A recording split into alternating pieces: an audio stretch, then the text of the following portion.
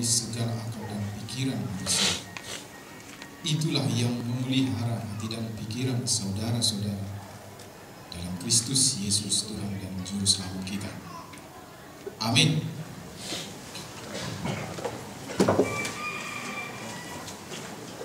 Jemaat yang dikasihi Tuhan, marilah kita membuka kitab kita. Kita akan mengikuti pembacaan dari Nats Khotbah pada minggu ini yang tertulis dalam Injil Yohanes pasal 17 ayat 1 sampai dengan ayatnya yang ke-11. Marilah kita ikuti bersama saya akan bacakan bagi kita. Demikianlah kata Yesus.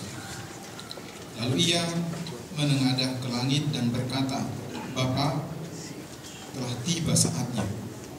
Permuliakanlah anakmu, supaya anakmu mempermuliakan engkau. Sama seperti engkau telah memberikan kepadanya kuasa atas segala yang hidup. Demikian pula ia akan memberikan hidup yang kekal kepada semua yang telah engkau berikan kepadanya. Inilah hidup yang kekal itu, yaitu bahwa mereka mengenal engkau satu-satunya Allah yang benar dan mengenal Yesus Kristus yang telah engkau utus. Aku telah mempermuliakan engkau di bumi dengan jalan menyelesaikan pekerjaan yang engkau berikan kepadaku untuk melakukannya. Oleh sebab itu, ya Bapa, permuliakanlah aku padamu sendiri dengan kemuliaan yang kumiliki di hadiratmu sebelum dunia ada. Aku telah menyatakan namamu kepada semua orang yang engkau berikan kepadaku dari dunia. Mereka itu milikmu, dan engkau telah memberikan mereka kepadaku, dan mereka telah menuruti firman Sekarang mereka tahu bahwa semua yang engkau berikan kepadaku itu berasal daripadamu. Sebab segala firman yang engkau sampaikan kepadaku telah kusampaikan kepada mereka dan mereka telah menerimanya. Mereka tahu benar-benar bahwa aku datang daripadamu dan mereka percaya bahwa engkaulah yang telah mengutus aku. Aku berdoa untuk mereka. Bukan untuk dunia aku berdoa, tetapi untuk mereka yang telah engkau berikan kepadaku, sebab mereka adalah milikmu. Dan segala milikku adalah milikmu, dan milikmu adalah milikku. Dan aku telah dipermuliakan di dalam mereka. Dan aku tidak ada lagi di dalam dunia, tetapi mereka masih ada di dalam dunia. Dan aku datang kepadamu. Ya Bapa yang kudus, peliharalah mereka dalam namamu, yaitu namamu yang telah engkau berikan kepadaku, supaya mereka menjadi satu, sama seperti kita. Demikian pembacaan firman Tuhan. Saudara yang dikasihi Tuhan, Abang dan Ina, mungkin kita masih ingat dulu ketika kita di zaman dulu masa yang lalu ketika kita masih kecil atau juga anak-anak di zaman sekarang ketika orang tuanya tidak berpergian keluar kota mungkin beberapa malam orang tua selalu berpesan kepada anak-anaknya anak baik-baik di rumah. Jaga adik-adik jangan sampai keluar rumah. Kurang luas marmehami tuai godang suatu bubang. Jangan main api di rumah. Awas bahaya. Amanat tatarik suatu mangulu di pegarana suatu masuk bujabuta kalau malam ingat pintu rumah dikunci rapat-rapat jangan buka pintu kalau ada yang tidak kenal kalau ada orang datang kamu tidak kenal mana tahu dia orang jahat kalau berangkat sekolah hati-hati di jalan ya nak. Ingat pintu rumah dikunci kalau keluar rumah dan sebagainya dan sebagainya. Amang dan Inang betapa orang tua itu sangat sayang sekali pada anak-anaknya dan selalu menjaga dan was-was tentang keadaan anak-anaknya yang ditinggal di rumah. Biasanya orang tua yang bepergian, biasanya keluarga Kristen sebelum berangkat bepergian, dia selalu berdoa, mendoakan kepergiannya dan juga mendoakan anak-anak keluarga yang ditinggalkannya. Artinya, orang tua berusaha menunjukkan kasih sayangnya, kepeduliannya dan tanggung jawabnya akan kebaikan dan keselamatan anak-anaknya sepeninggalnya bila ia pergi meninggalkan rumah. Orang tua membawa dalam doanya agar dalam perlindungan Tuhan. Bahkan kalau ditanya dalam hati kecilnya, sebenarnya dia tidak tega juga meninggalkan mereka, anak-anaknya. Karena itu dia mendoakan anak-anaknya semoga baik-baik saja, aman-aman dan selamat-selamat dalam naungan Tuhan. Amang dan Inang, demikianlah kita lihat dalam nats ini. Yesus berbicara kepada para muridnya bahwa tidak lama lagi ia akan pergi meninggalkan mereka. Yesus akan pergi ke rumah Bapa di sorga sebab dia akan dimuliakan. Yesus mengingatkan mereka Yesus berpesan kepada murid-muridnya, berjaga-jagalah, jangan lengah, sebab banyak sekali bahaya yang mengancam kalian, hidup kalian di dunia ini. Kalian boleh saja menangis, kalian bisa saja berduka cita, kalian akan banyak sekali mengalami hambatan, tantangan, ancaman, dan gangguan di dunia ini. Itu pesan Tuhan Yesus. Yesus mengingatkan mereka, tetaplah kuat.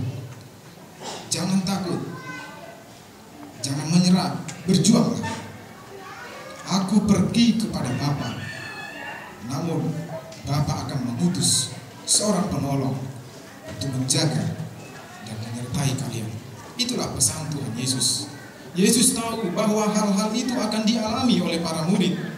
Karena itu, sebelum Yesus pergi meninggalkan mereka, Yesus secara khusus berdoa bagi para muridnya dan juga kondisi mereka keadaan mereka, bahkan kesatuan murid-murid itu sepeninggal Yesus. Amang dan Inang, apa yang boleh kita lihat dalam isi doa Tuhan Yesus ini yang menjadi khotbah kita pada minggu ini? Yang pertama, dalam doanya Yesus memohon kemuliaan Allah Bapa. Dalam doanya Yesus memohon agar Bapaknya mempermuliakan dia Ya Bapa, permuliakanlah anakmu supaya anakmu mempermuliakan engkau. Kemuliaan apa yang dimaksud Amang dan Inang? Kalau kita analisa memang doa Tuhan Yesus ini sangat pribadi sekali. Dia meminta apa yang menjadi kebutuhan pribadinya. Namun ternyata tidak.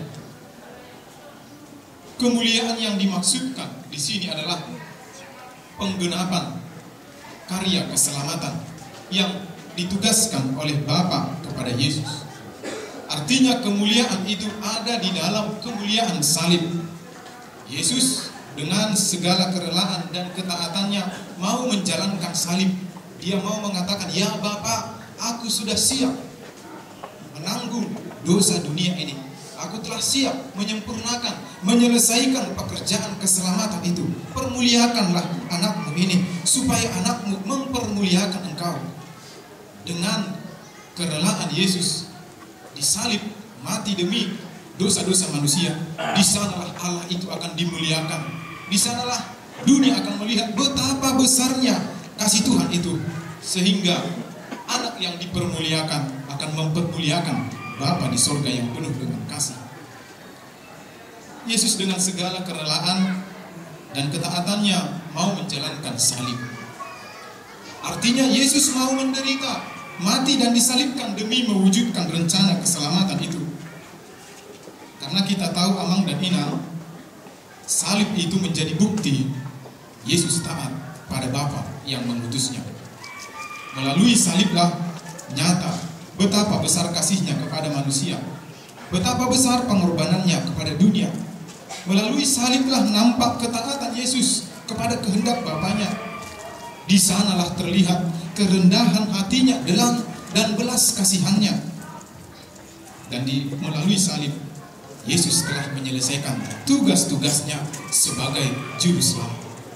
Ia menyelesaikannya dengan kasih, dengan pengorbanan, dan dengan belas kasihan kepada dunia.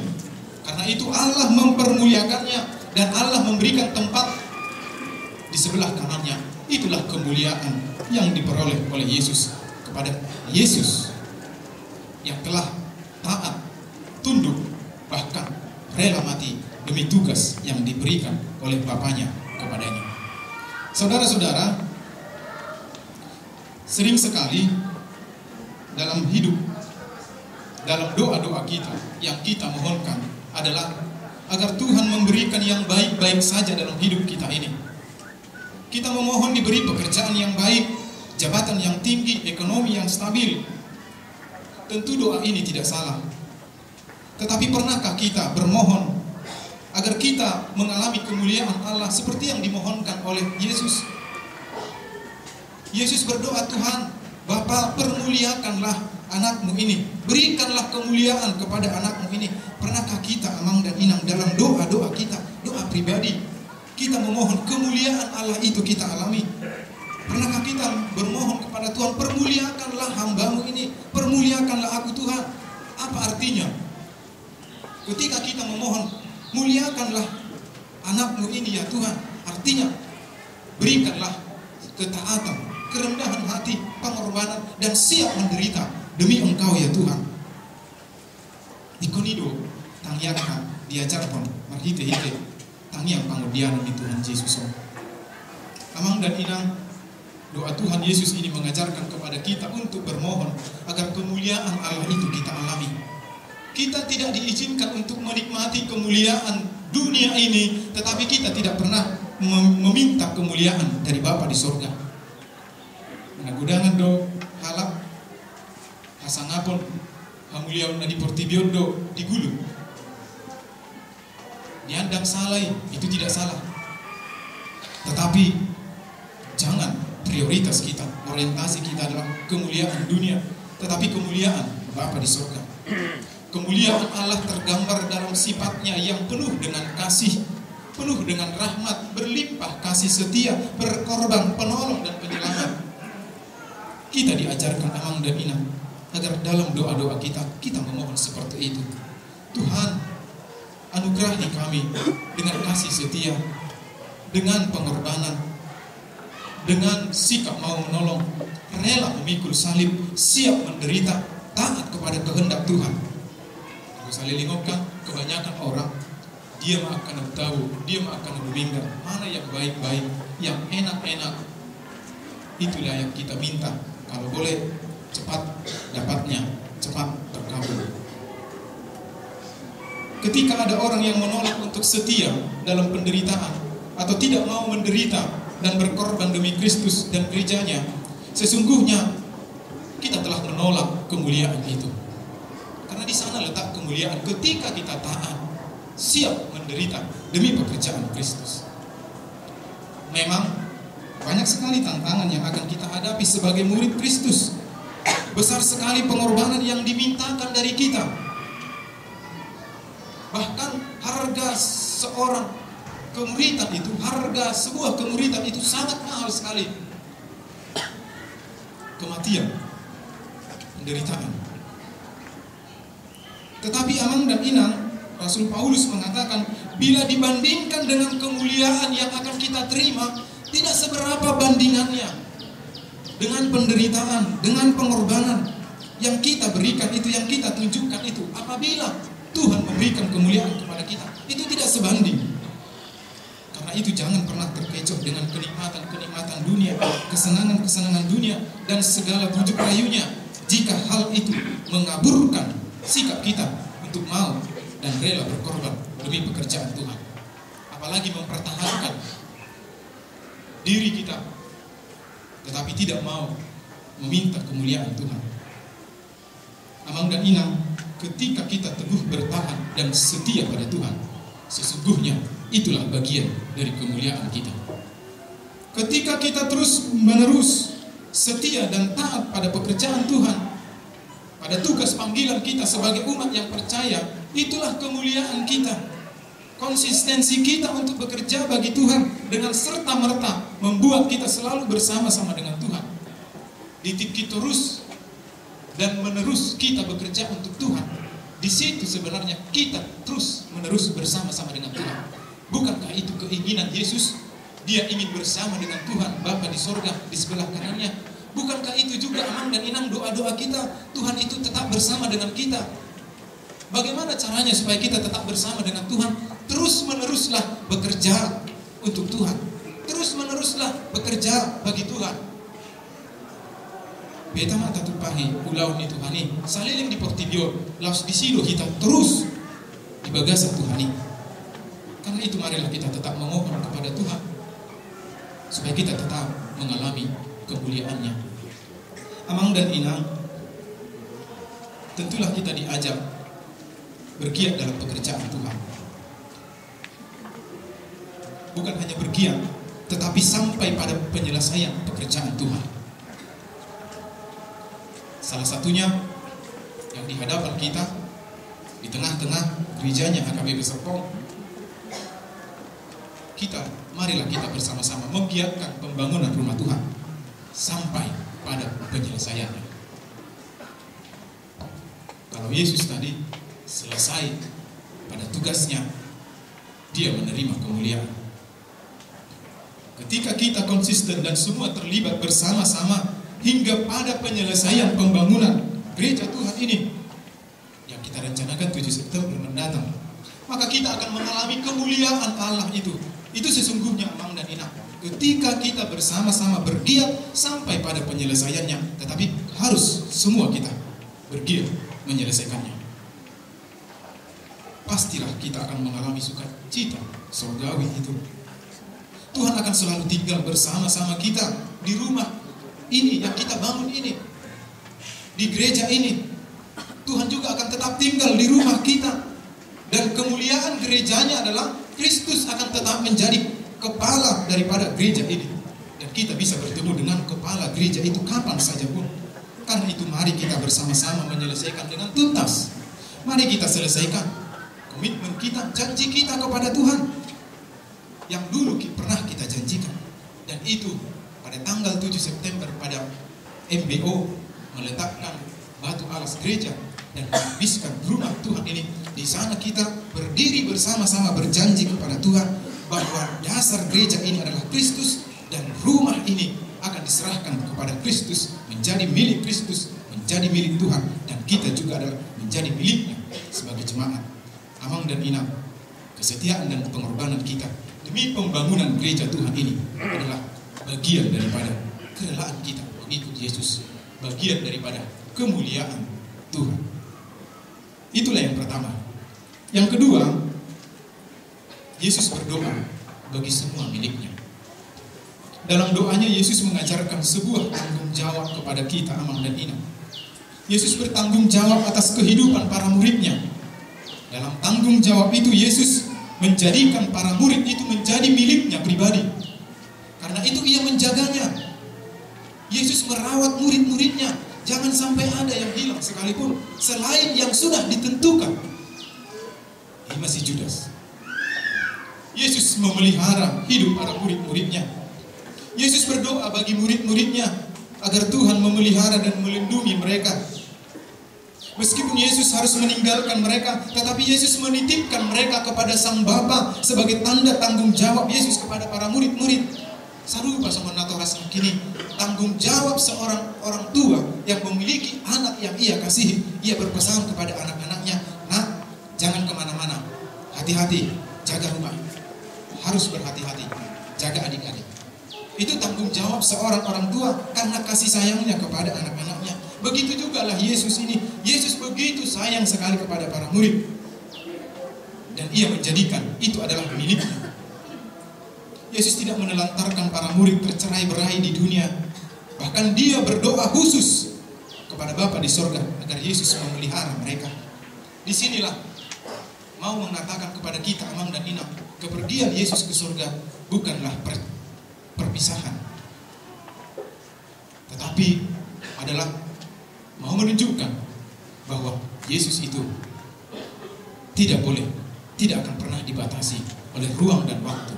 Tetapi dia akan kembali kepada kemuliaannya sebagai Tuhan, pencipta langit dan bumi ini.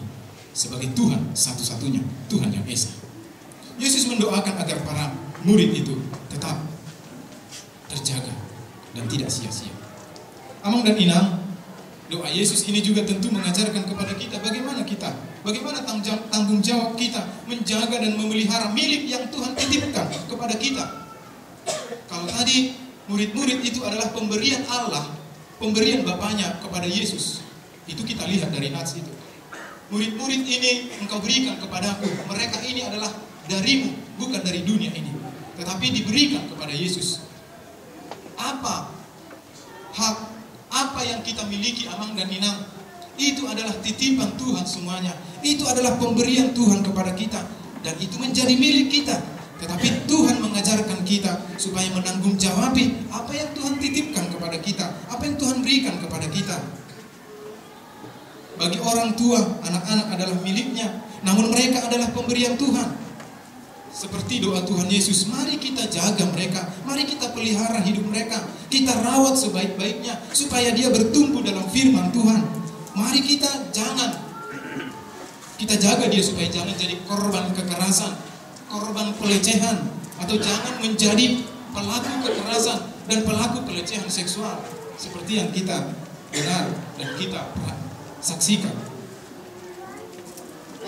Kita diingatkan kembali supaya kita bangkit untuk menjaga milik kita itu adalah dari Tuhan, anak-anak kita itu. Bagaimana tanggung jawab orang tua kepada anak-anak? Dan saya be holang mana rihon. Narik kok tu parsikola anak si panganan do si hidung si galu pari do tu para bitonna dan saya be kolani alai di jamut ma hapur siaonna marhite hite nama mudahun hatani di bata idu marga jala idu di pangidu tuhani tanggung jawab minatoras tu ya anakku pekerjaan kita itu adalah milik kita. Tetapi sesungguhnya Amang dan Inang itu titipan Allah kepada kita. Karena itu mari kita jaga pekerjaan kita. Jangan menimbulkan dosa. Jangan menimbulkan ketidakbaikan buat keluarga kita, kepada pribadi kita. Marilah kita rawat pekerjaan kita itu. Mari kita pelihara demi kebaikan hidup kita bersama, demi kebaikan keluarga, demi kebaikan sesama kita. Jadi pekerjaan kita itu harus mencerminkan kemuliaan daripada Allah. Kita pakailah dengan baik. Kita pakailah dengan jujur, adil dan benar. Sebagai majelis juga Tuhan menitipkan kepada kita jemaatnya. Semua kita perhalado. Jemaat adalah milik Allah. Dipercayakan untuk kita dampingi sebagai pelayan bagi Allah. Mari kita tunjukkan amang dan inang majelis tanggung jawab kita kepada Tuhan sebagai pelayan, sebagai parhalado yang bertanggung jawab atas tugas panggilan kita. Jangan kita remeh terhadap tugas itu. Sebagai jemaat Tuhan juga. Kita dipercayakan boleh bersama-sama melayani di tengah-tengah gerejanya, khususnya HKBP Serpong. Karena itu mari kita tunjukkan kepedulian kita, tanggung jawab kita menjaga dan mengembangkan semua pelayanan gerejanya Apa pun pelayanan yang diberikan oleh gereja kepada kita itu adalah pemberian Tuhan. Mari kita pakai sebaik-baiknya. Pemain musik berbaik, bermain dengan baik. Penyanyi bernyanyi dengan baik. Dan semua perangkat-perangkat, organ-organ yang ada di gereja ini bermain sebaik-baiknya. Karena itu adalah kesempatan yang Tuhan berikan kepada kita. Melayani juga sebaik-baiknya. Mang dan Inang, marilah kita jaga rumah Tuhan ini Tuhan memberikan gereja ini untuk kita miliki, untuk kita jaga bersama. Bahkan diberikan kesempatan untuk kita bangun bersama. Mari kita perhatikan apa saja keperluannya. Apa yang kurang, apa yang perlu, mari kita lengkapi bersama. Mungkin AC-nya kurang, atau kursinya kurang, fasilitas musiknya kurang, atau apa pun. Ini bukan hal yang sepele, Amang dan Inang. Ini bukan hal yang sederhana. Gereja ini milik Tuhan, tetapi dipercayakan untuk kita jaga, kita rawat, kita miliki bersama. Mari kita perhatikan bersama. Dan saya kalau perkala rumah parohahon, alik kodoh do, sudah kita, amang dan inang. Kita beragam, berbeda-beda kita. Berbeda-beda cara kita memberi, berbeda-beda apa yang harus kita berikan. Berbeda kita cara memperhatikan gereja ini, merawat gereja ini. Sotong do taripo lah kami perhalado neko payaso bagas jorong paparohao nak kanarikon. Karena itu amang dan inang begitu kita selesai beribadah di sini, mari kita berjalan-jalan memperhatikan ah haruna rumikon apa yang perlu, apa yang harus kita rawat. Ah haruna yang bahinok Tuhan, tu bagas jorong Sungguh tada naung dilihokoha persiawan kepercayaan bagi saya untuk merawat rumah Tuhan ini. Dan terakhir amang dan inang, Yesus berdoa untuk kesatuan orang-orang percaya di dunia ini. Tentu kita akan bertanya-tanya, kesatuan yang bagaimana yang Tuhan doakan, Tuhan maksudkan. Karena kita tahu, di zaman sekarang banyak sekali denominasi gereja, bermacam-macam gereja. Tentu kita bertanya, kesatuan apa yang didoakan oleh Tuhan Yesus? Atau kesatuan yang bagaimana yang dimaksudkan? Apakah kesatuan jumlahnya? Atau apakah kesatuan kualitasnya? Paulus mencoba menggambarkan kesatuan ini dengan tubuh. Banyak bawahannya tetapi satu tubuh. Demikianlah tubuh Kristus, gereja. Banyak jemaatnya tapi satu dalam tubuh Kristus. Artinya banyak jemaat, banyak gereja-gereja di dunia ini tetapi harus satu dalam persekutuan dalam Kristus. Biarlah gereja bertumbuh di mana-mana tetapi satu Tuhannya, satu kepercayaannya kepada Kristus yang satu. Ikut sadar silangna dan boy dua silang ikut sadar dua silang karena di dalam salib itu kita bersatu apa rahawa mulai tatap silangi di situ di Simalolo kan? Di situ kesatuan kita. Ketika kita mau memikul salib Kristus maka di sana kita mau saling berkorban saling mengasihi mau menderita saling berbagi. Dan ketika itu tercipta di tengah-tengah jemaat di tengah-tengah dunia itu itulah kesatuan yang didoakan oleh Kristus bagi kita. Karena Yesus melihat ada bahaya perpecahan terhadap perbedaan itu. Jadi Yesus tidak anti perbedaan. Yesus tidak anti keberagaman. Tetapi Yesus mengingatkan para murid bahkan mendoakan para murid karena bahaya perbedaan dan keberagaman itu besar sekali bahayanya. Bisa terjadi perpecahan seperti yang terjadi di Korintus. Karena itu Yesus secara khusus mendoakan kepada Bapa di sorga supaya mereka satu seperti kita satu ya Tuhan ya Bapa.